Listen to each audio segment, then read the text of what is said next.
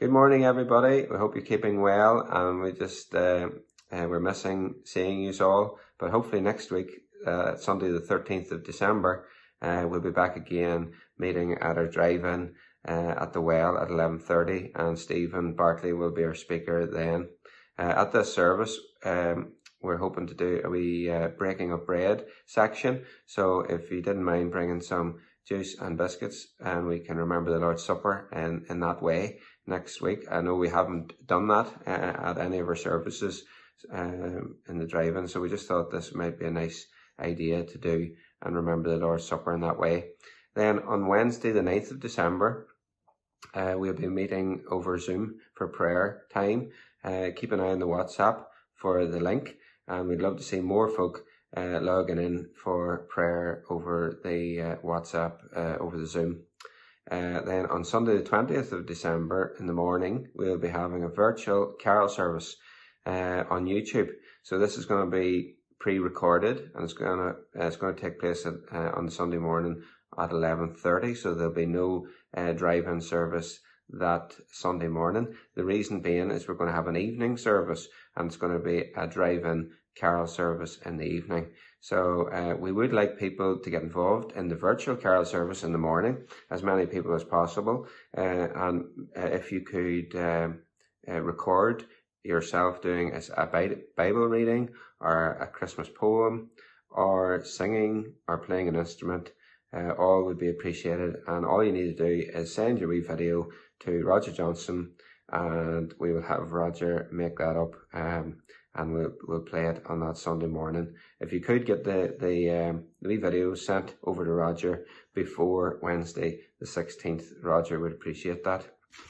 Then the fellowship is providing Christmas hampers this year for some folk in the community that would appreciate it and need it at this time. And if you know anyone who would like a hamper, please let us know as uh, the ladies are getting this uh, stuff gathered together.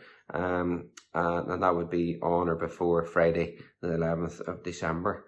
Um, and if you could get in touch with any of the ladies there, the uh, the uh, donations would be uh, really welcome. Uh, you can either uh, give money towards that, um, preferably next Sunday, if possible. That'll be Sunday the 13th in the morning, or if you if you want, we can put up the details of the internet banking, and you can send a wee uh, transfer and let us know, uh, and we can get that directed towards uh, the hampers. Um, but uh, God willing, uh, that'll be well received in the community. And as I said before, we're missing you all. Uh, we just pray that uh, God will bless each of you uh, at home at this time. Goodbye.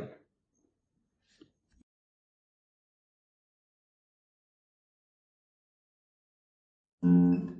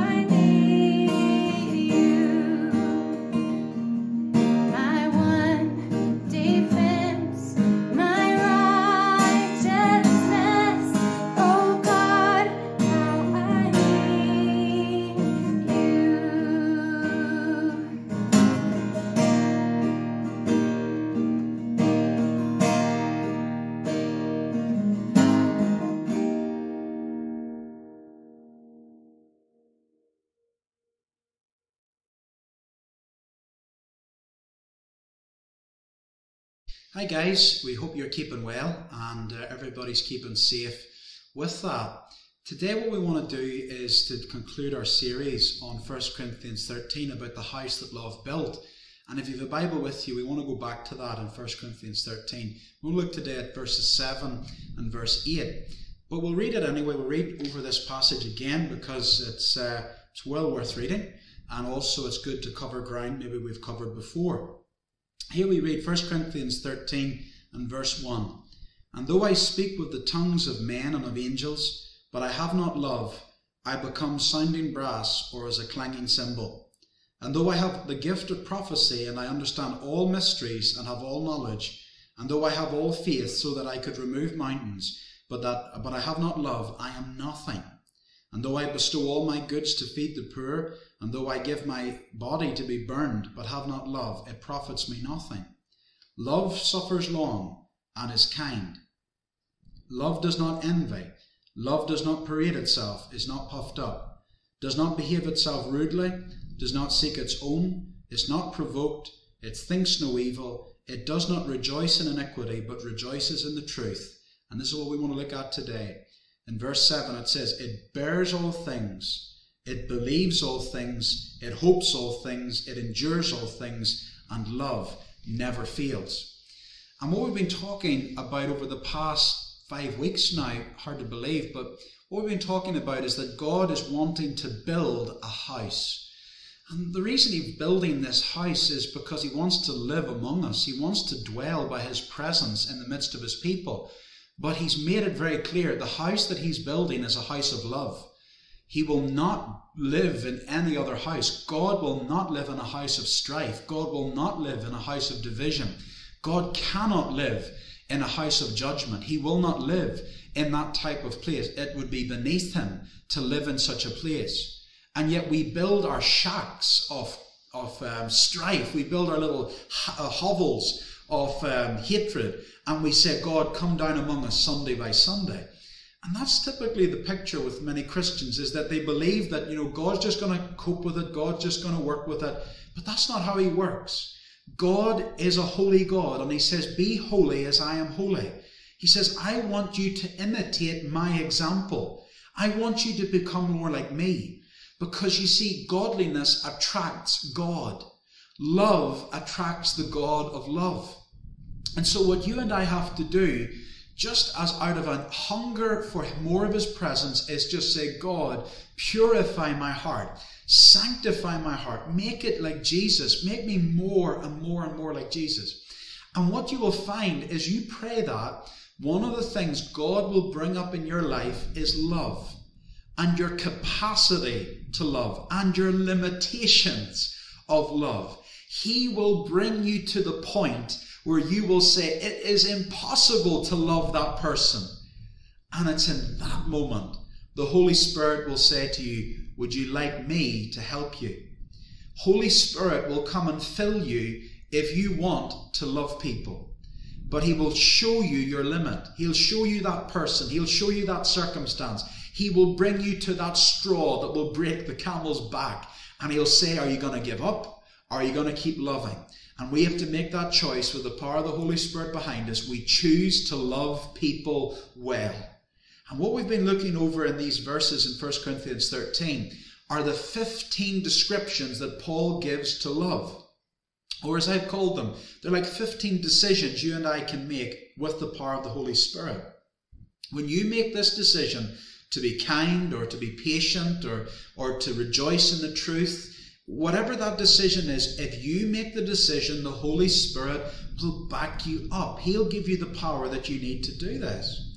And so today, what I want to just encourage you to be is say, Lord, I feel as if I'm at this level of love. I am at this level of capacity in the Holy Spirit's love. Would you take me to the next level?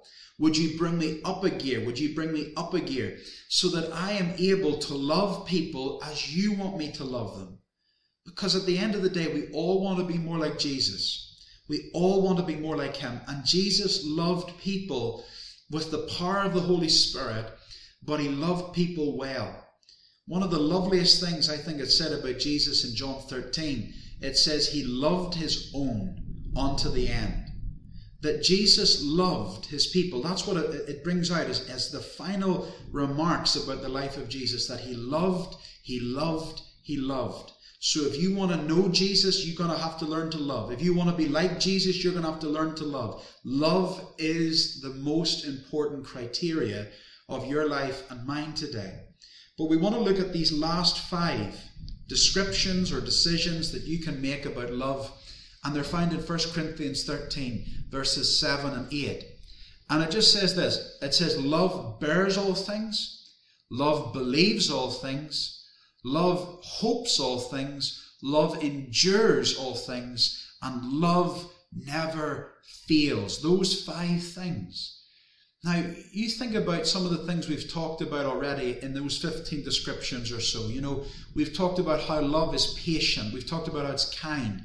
And even last week, what we were talking about is like the internal uh, thinking and feelings of love. You know, it rejoices not in, it thinks no evil, it rejoices not in iniquity, but rejoices in the truth here is the vision of love that we're going to talk about today in verses 7 and 8. This is the vision, the long term vision of love. It bears all things, it believes all things, it hopes all things, it endures all things, it never fails. And what you find about love is that love has a vision. And the Bible says where there is no vision, the people perish. And there's a lot of relationships today that are perishing and dying. There's a lot of divorce out there, even among Christians. There's an awful lot of relationship breakdown in families. There's an awful lot of relationship breakdown in churches, and people get split from one another. People divide over things. People leave churches. People do all those sort of things. But the reason for it is we don't have a vision for love.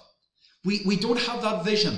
But verse 7 and verse 8 of 1 Corinthians 13 is that vision that God gives us. He, if you want love to fill you, it will not only fill your heart, it will fill your eyes. You will get a vision of how God wants you to love people.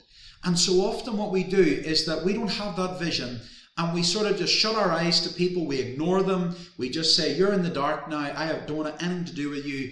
Uh, as to me, you don't exist. You know, that's how we that's how we do with things in Northern Ireland. And you know what? It isn't right. It isn't right. You know, although we've got our great doctrine in our Northern Irish churches and we do evangelism pretty well and we give to missionaries and we're very generous and all those good things are in Northern Ireland churches, we are not very good at envisaging love for each other. We, we don't have a long term plan to deal with people that are difficult. We don't have a long term plan to cope with people we don't really get on with. You know, it, it is like that. Either you totally ignore them or you just walk away from them. But love is able to be in the thick of it, to know that person, be connected to that person, and to love them. And that's what the love of God is able to do. So, without any delay, we want to go into these, um, the first ones we read of here in verse 7. The first one we read about is this it says, Love bears all things. Other translations put it like this. The Amplified says this Love bears up all things. The NIV says it always protects, which I think is interesting. J.B. Phillips says, Love knows no limit to its endurance. The Living, the Living Bible talks about love is always making alliances. And Moffatt says, Love is slow to expose. This word for love, by the way, is the Greek word stego, stego, S T E G O. And it's a very unusual word. It, really means two things. It means to persevere with somebody. It means to persevere. So, for instance, in 1 Corinthians 9 and verse 12, Paul says, We suffer all things, which is the same word, we suffer all things, lest we should hinder the gospel of Christ. So Paul said, because I've got a vision for what God wants to do, because I've a vision of what God wants to do among a people, he says, I'll suffer it, I'll keep going, I'll keep attacking it, I will keep just pressing into that, I'll keep committed, and I'll do it because I've got a vision. And what he's talking about in 1 Corinthians 9 and 12 is that he's got a vision to reach people for Jesus. And as you will well know, trying to win people to Jesus often is about forbearing their bad habits. It's about sort of ignoring certain bad things in their life so that you could reach them with the gospel and bring them to the Lord Jesus. That's really what we have to do with many people. But Paul says you need to take that same quality into the church, not just take it outside of the church, bring it into the church, where you're able to patiently endure people's rubbish, essentially. You're able to cope with people. And they may have bad habits, they may have problems, they may have difficulties, but there's an ability from the Holy Spirit for you to endure that and to keep going. Is it nice all of the time? No, it isn't. But you know what? The power of the Holy Spirit will keep you going. But the second reason, the second sort of meaning of that Greek word, uh, is really interesting. It means to thatch or to cover. Now you think about it there, maybe we don't see it as much now in Ireland, but years back, you know, you didn't have a slate roof, you didn't have, um, you know, a tile roof or corrugated iron on a roof. What you had was like brick walls and then you had a thatch. You had a thatch. We have a picture in our house, my mum and dad's house, of the of our house, what it was maybe hundreds of years back, and it was a, a, it was a stone building and there was a thatch on it. And every year somebody would have to come as a thatcher and begin to, you know, replenish that roof. And if you didn't, all the bad stuff of the day got into it. And that word here that we're talking about, Paul says, love is like a roof over other people. Love provides a covering. The NIV talks about love protects people. You might say, what's this all about, Stephen? It's about protecting other people's reputation from criticism. Do you know what often happens when you and I get hurt by people? Half the country finds out about it.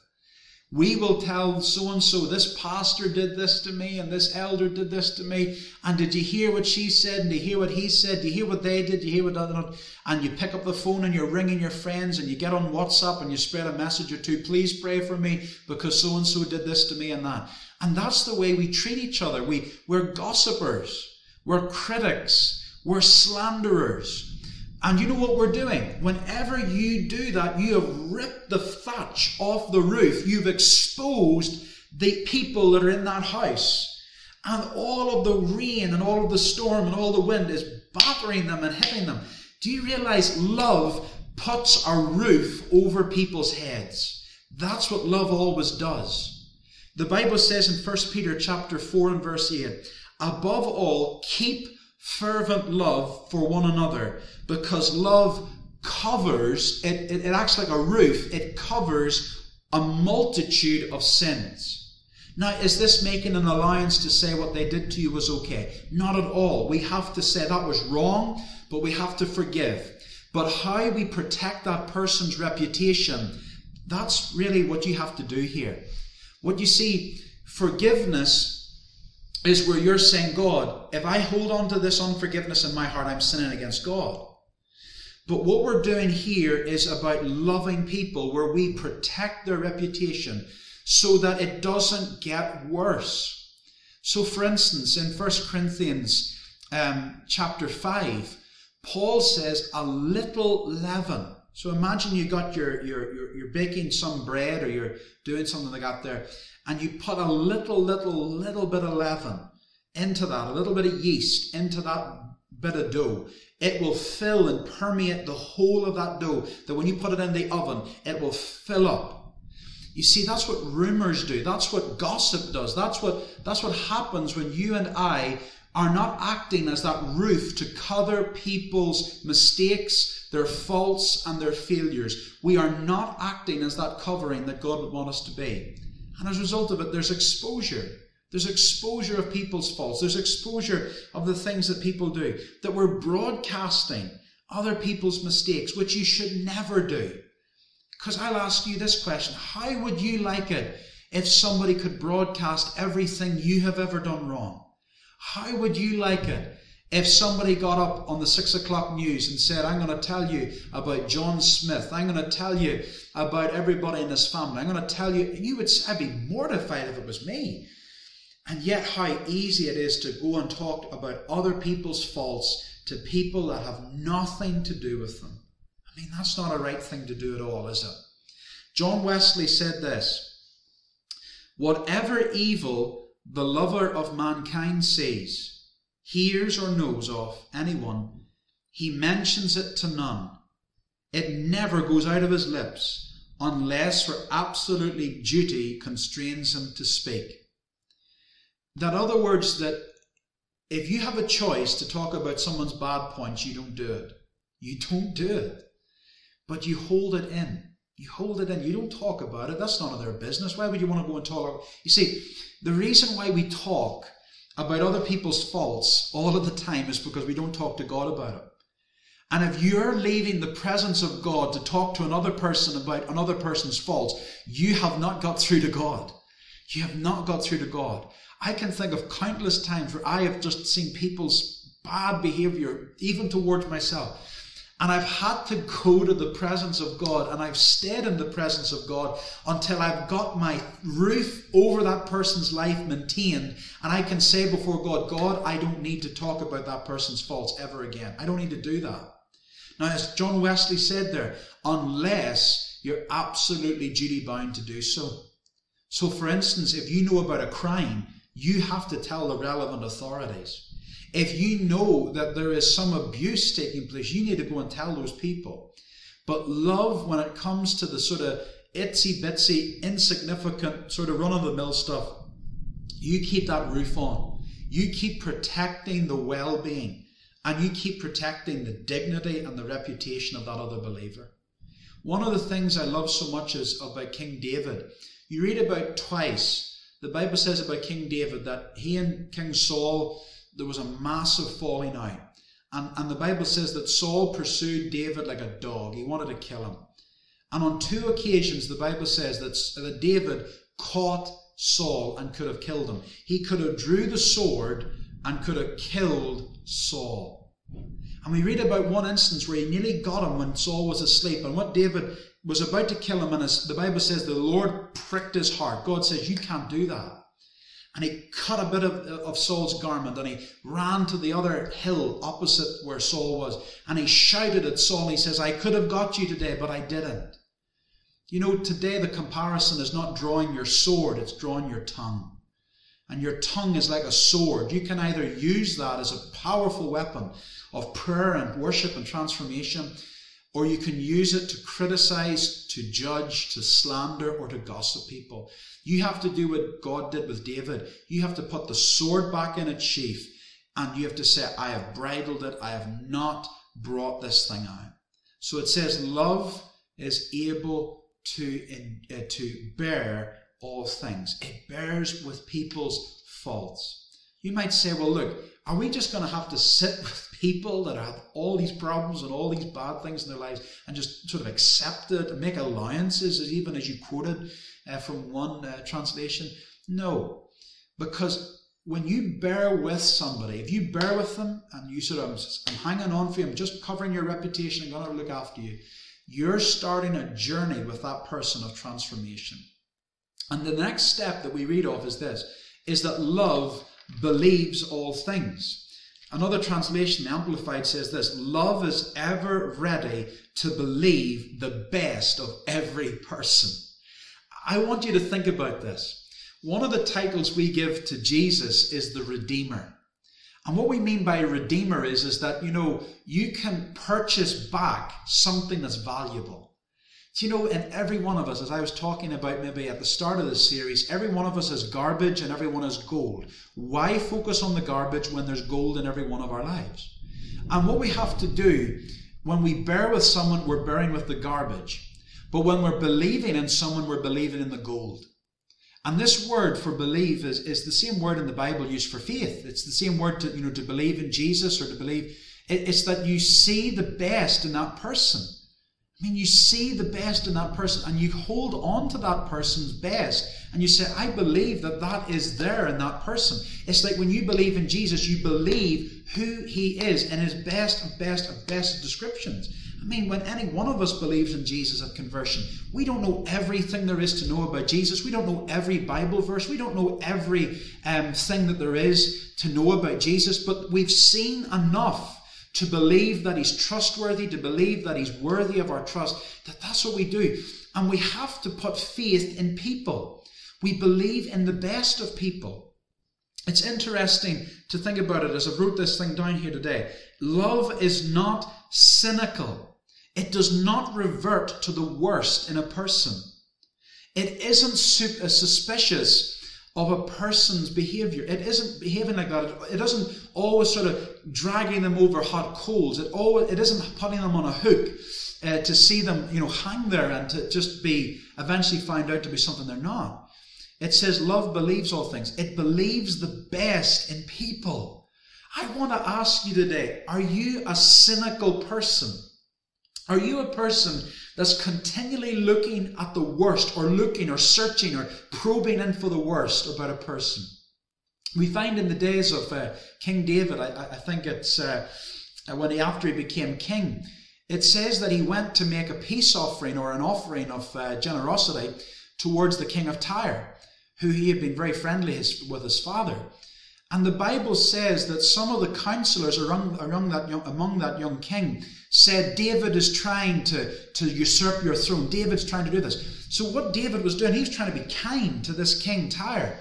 But what happened was he, he listened to these cynical, suspicious, judgmental people around him. And he started to believe the worst in David's actions. He started to believe the very, very, very, very worst in people.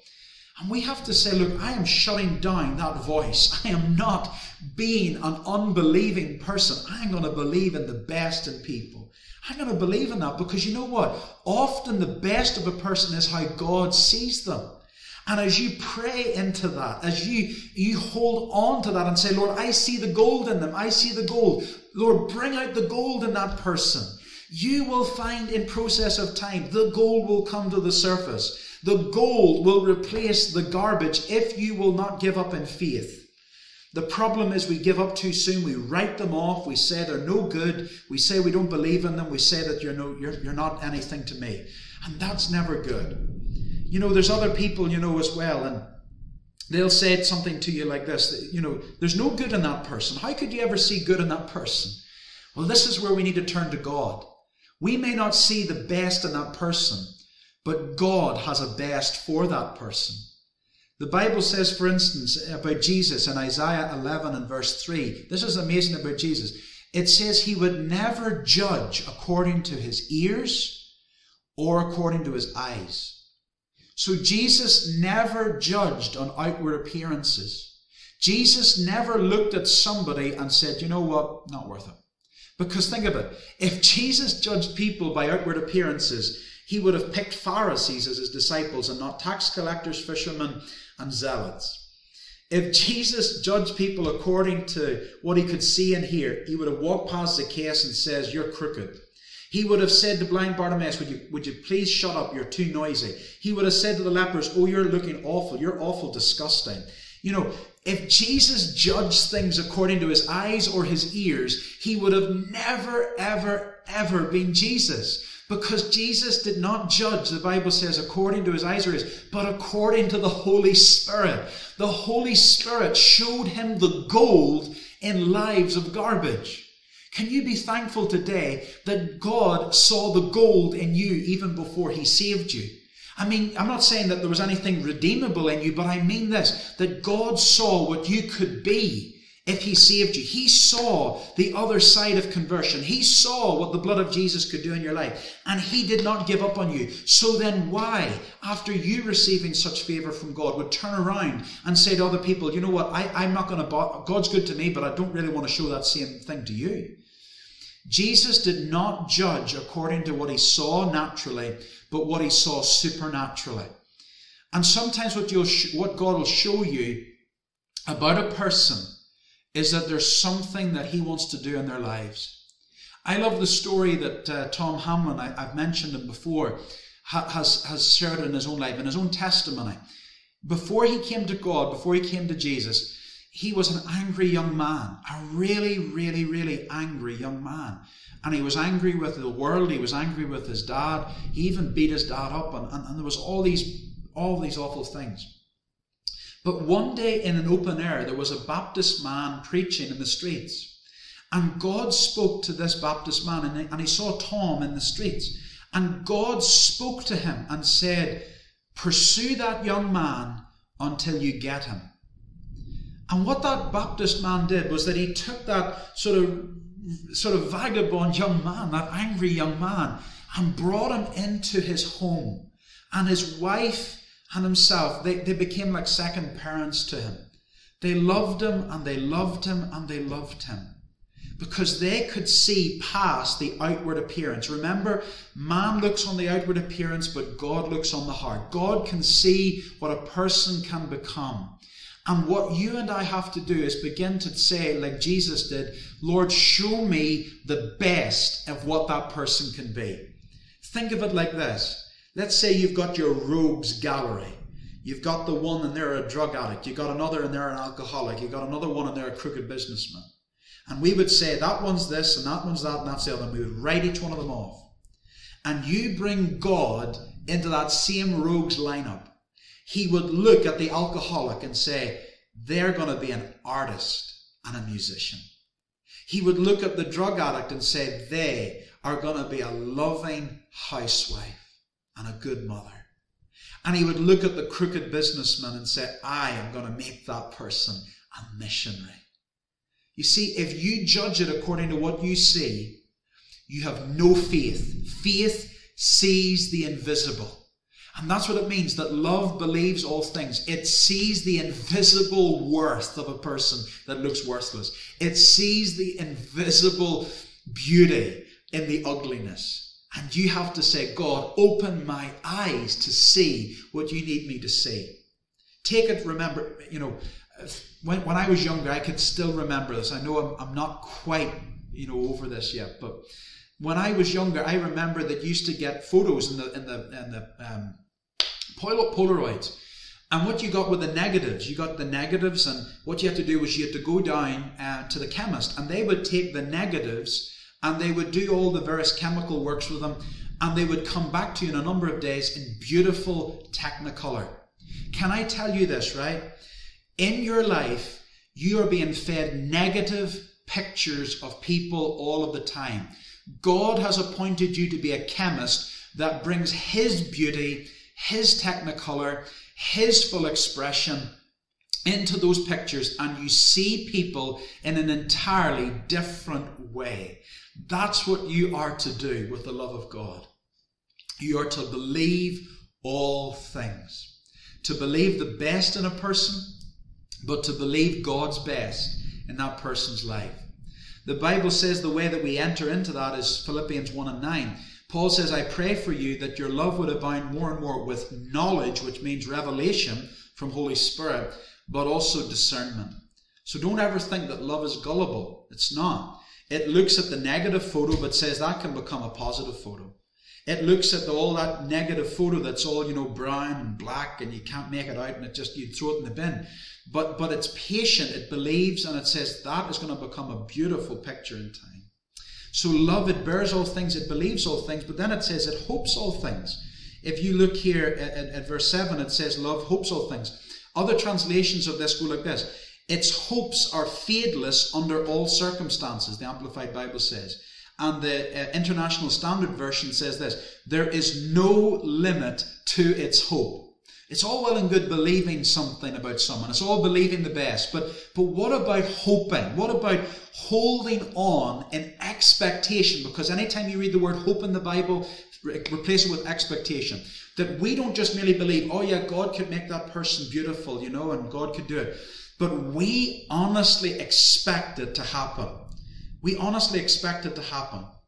We don't just sit here with our, you know, sitting on our hands just saying, oh, well, if it happens, it happens. If God's will's in it, I suppose, you know, and we sort of, you know, behave like that. But expectancy fills our hearts. That we say it may, it just not that it may happen, it will happen.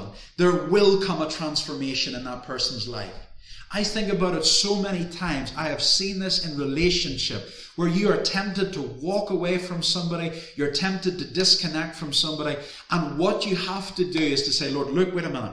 I'm going to bear with that person. I'm going to believe for God's best in that person. And I am going to hope. I'm going to pray with expectancy that that person is going to be changed. It is the belief and confidence that others will be touched by God's power. Do you know what? The church of Jesus is to be a community of people who are constantly being transformed. I mean, that's one of the things we should be praying for is God, transform all of us to take us to places and experiences with you we've never been in before. Take us and make us like Christians we've never been like before. I mean, God's able to do that with any one of us. And that's what churches should be like. That let's say if you went to a church last year and you know you don't go back for another year, if you did that test, you should see a noticeable, visible change in every single person that goes to that church within that one year. There, should be visible signs of transformation. There ought to be that. Because houses of hope need to be raised up where anybody can be transformed. I'm not just talking about, you know, people that are the worst of the worst, so called. I mean about you. Can I ask you a question personally? In the past year or so, can you notice things that God has changed in your life? Can you notice, can you tell me maybe maybe three things? Give me three things. Maybe write that down as you're at home here today. Write down three things that God has transformed in your character in the past year. Tell me about things that God has been working in you. Because the Bible says God is working in us both to will and to do of His good pleasure.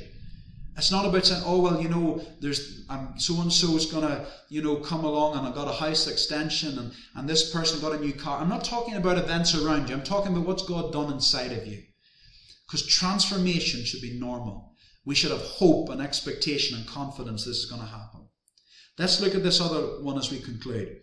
It says love endures all things. So love bears all things, love believes all things, love hopes all things, but it says love bears all things. Other translation says, Amplified says, endures all things without wavering. It says NIV, always perseveres. NLT says, endures through every circumstance. And Phillips says, it can outlast anything. The word in the Greek is hupomeno, which means to under remain. It means to remain under. It was originally a military word. It was used for soldiers who could hold on to a territory and not give up. Love holds the ground. Love stays with a person and says, I am sticking with you until God changes you. I am staying the course with you until God radically changes your life. I love the story they told about David Wilkerson, who was in New York City. He was only 26 or 27 years of age, and he had, he had been fasting and praying for many, many years, unsettled by God's Holy Spirit. And he picked up a book of Life magazine and he saw all these young men from uh, gangs in New York City standing trial. And one of them was Nicky Cruz, who was the leader of all those various uh, sort of groups. And God spoke to David Wilkerson, says, Go to New York. And he went down there. He was, a, he was just a country pastor. He went into the big bad city of New York and he was sleeping in his car every night and he was going out the streets prayer walking and he was witnessing to these gang members and he spoke to Nicky Cruz and he kept telling him about, about the love of Jesus, kept telling him about the love of Jesus. And and it's the, it's the story, the cross and the switchblade. But Nicky Cruz did not want to hear what Dave Wilkerson had to say. And in actual fact, one day, Nicky Cruz was so tired of Nichols, uh, Wilkerson, but rather hanging around all the time. He's telling him about Jesus. He says, I'm going to cut you up to ribbons. I'm going to cut you up into a thousand pieces. And David Wilkerson replied, If you cut me up into a thousand pieces, every piece of me will tell you Jesus loves you. Every part of me will tell you that Jesus loves you. And Nicky Cruz's heart was just so, so pierced, so convicted by those words. And that was one of the instrumental moments that brought him to Jesus. And he goes around the world testifying now to the power of God and how God can save anybody. But you see, friends, love knows how to, to outlove the offense. Love knows how to play the long game. Do you know what? Radical transformation doesn't always take place overnight doesn't always take place in a matter of moments. Sometimes it can take weeks, sometimes it can take months. But if God has spoken to you and you believe what God has told you, the best about that person, you expect God to move, you will hold on, not because you're needy or because you've got emotional baggage in your life, but because you really believe God's going to change that person and that relationship is going to get so much better. It, it's interesting as I thought about it today, it journeys with people. Love has the ability to journey with people. And you know what? If you meet anybody, whether they're a Christian or not a Christian, they're not where God would like them to be. They're not where God would like them to be. But we have to learn to journey with people to bring them to where God wants them to be. We have to learn how to do that. We need to hold on until transformation happens. And the final thing we read about here in verse 8 it says, Love never fails. Do you know what? That's, that's a lovely description just to end that 15 long uh, description of love. Love never fails. It, it, it never ever fails. It, it doesn't drift off. It doesn't disappoint. It doesn't fail in the face of a challenge. Love wears the victor's crown. And we all love those stories of triumph. We all love those stories of breakthrough. But you know what? Before you can say love never fails, you have to go through the first 14. You have to be able to be patient and kind and not envy and not boast and not be puffed up and to rejoice not in iniquity, not to rejoice in people's failures, but you rejoice in the truth. You bear all things, believe all things, hope all things, endure all things, and then love never fails. But you know what? If you're willing to hold on tight, if you're willing to keep your love burning and keep your love going, you will see transformation happen in your life and in the lives of other people. You know, God is looking not only to build a house of love, but a house of transformation. When, when we build that house of love and the presence of God comes, you can bring anybody into that house. I long for the days where, where churches are not filled with churchgoers. They are filled with desperate people looking for help. And as they come into the house of the Lord, they find the presence of Jesus is there. And they find loving Christians who believe for transformation. Because, friends, we need that. We need that so badly. Because there's so many people out there today and they don't go to church and they don't feel part of church. And what they're desperately needing is the power of God. They need to encounter the Lord. But it's the loving gatekeepers that will open the door for them. So this is the end of our series. It's it's a series that we could probably do better justice to. There's so much more you could probably say. But you know what? I could give you all the explanations you could ever want. I could give you illustration after illustration after illustration. But you know what? The best thing to do is obedience. Just to say, Lord, as much as I understand, I want to apply that in my life. I want to obey you. And as you obey the Lord, even if it's a baby step of obedience, the Bible says God writes that down in heaven in a book of remembrance for those who fear his name, and he trusts you with more of the Holy Spirit. God wants you to obey his voice. Just obey whatever God is putting on your heart right now, uh, as you've heard the truth being shared with us today. Just apply that into your heart. Get alone with God. Even take five or ten minutes. Just get alone with God and say, God, I just feel I need to work on this in my life. I really need to work on this. And I'm not just praying that to, you know, to say, oh, well, it, it might work. Just say, God, you're going to work and you're going to transform me because He will. So this is the house that love built. And God is building His house today. So let's pray a little minute. Father, we thank you so much that you are a loving God and you empower us to love other people. And Father, I pray for every person today that you're speaking to that the Holy Spirit would, Father God, work in their lives and cause them to love as you would love them. We pray, Lord God, enlarge our hearts, enlarge our capacity for the Holy Spirit. Lord, strengthen our willingness, we pray, and cause us to love and love and love and never give in or give up. So, Father, we bless your name. We thank you that you're building your church and the gates of hell will not prevail against it. In Jesus' name, Amen. So God bless you. Hopefully, we'll be able to see you in person next week and we'll be able to fellowship with one another again. But may God bless you, bless your families, and hopefully, we'll catch up soon. See you soon.